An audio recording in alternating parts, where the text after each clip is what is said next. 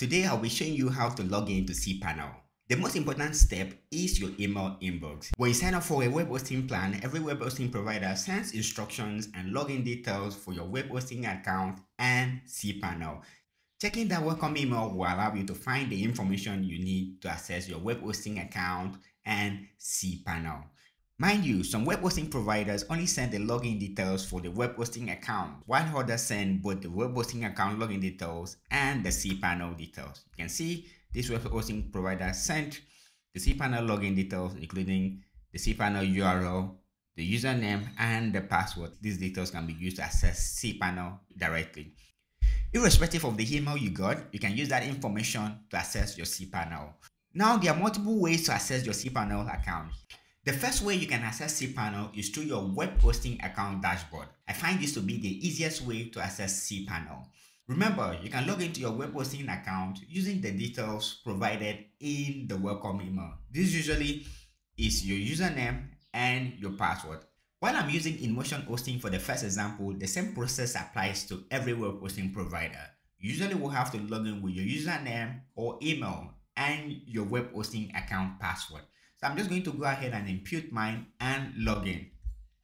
As expected, the web hosting account dashboard differs for every web hosting provider. However, the options are similar. You should be able to see an option on your web hosting account dashboard that says cPanel or login to cPanel.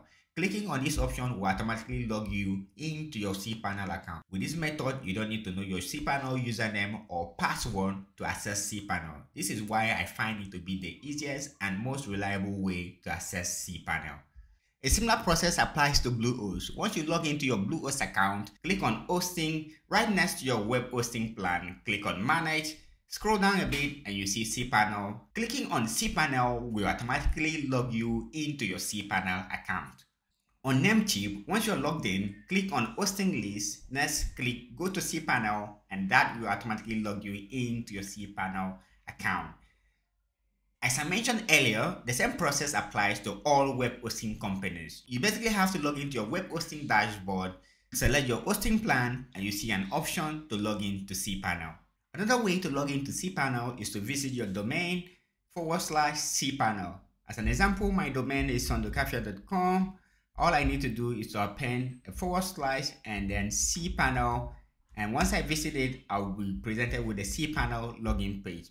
With this, you need to know your cPanel username and your password. Remember I mentioned earlier that most hosts will send the cPanel login information in the welcome email. If that wasn't sent to you in your welcome email, your web hosting provider should provide an option to reset your cPanel password. If you don't see that in your web hosting account panel, what you want to do is to contact your web hosting provider and they will guide you on the steps to reset your cPanel password. Once you reset your cPanel password and have your login information, the next step is to go ahead and log in with your cPanel username and password. Here we are. That gives you direct access to cPanel. This is the industry standard way of accessing cPanel, so be sure to familiarize yourself with it. Now you know how to log in to cPanel. Be sure to check out other videos in the cPanel beginner series. If you find this video helpful, please go ahead and like it, share it, and support me by subscribing to my YouTube channel. Bye for now.